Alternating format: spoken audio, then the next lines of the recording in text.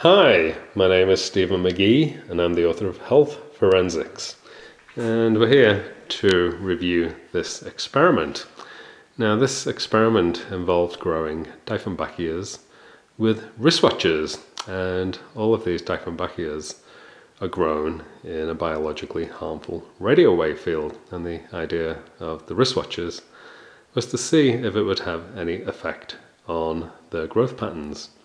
And as you can see, it certainly did. So we're going to start with the worst growth, and the worst growth is dead. So this one had a digital watch in its roots, and it was started in March 2014. It's now January 2016.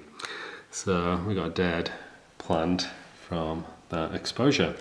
Now that digital watch looks like this. So it's a resin strapped digital watch and it's not the analog that I'm wearing. So that was what was in there and it killed the plant.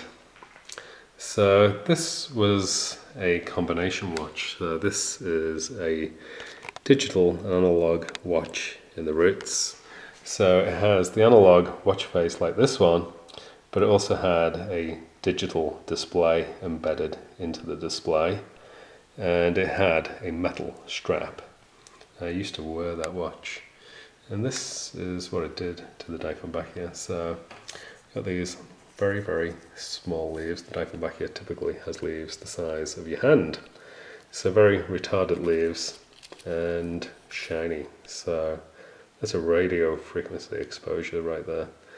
So it's a very deformed Dieffenbachia. So this one here has the watch hanging on its upper stem structure. So it's very, very similar to the watch that I wear. And it's grown quite tall for Dieffenbachias that I grow in my home. And it just recently lost many of its leaves. It was growing much better up until about a month or two ago. So we're going to have to watch this one for a while and see whether it starts putting up new leaves. But that's where we're up to with that one.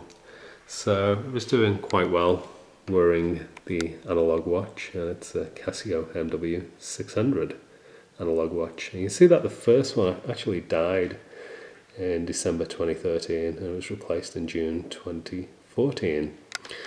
So we have better success with the second plant.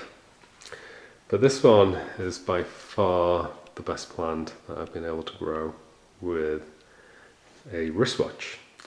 So we put the wristwatch in the roots. So it's down there, embedded in the soil, and we got this giant Dieffenbachia plant. Uh, we take a little look at the leaves. You can see it's got the best leaves. So it's a miniature Dieffenbachia leaf and it has the patterning in it. You can see that down here.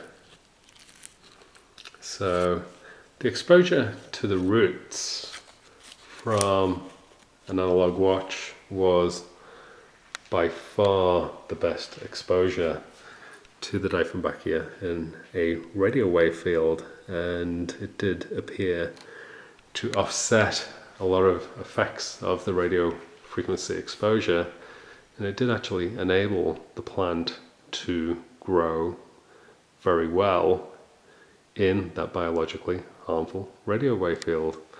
And it was the observations of this plant that prompted me to start wearing a Casio MW600 watch as well. And the closest place on the human that is considered to be roots is either the the palm of the hand or the sole of the foot. So it's as close as I can get it to the human roots.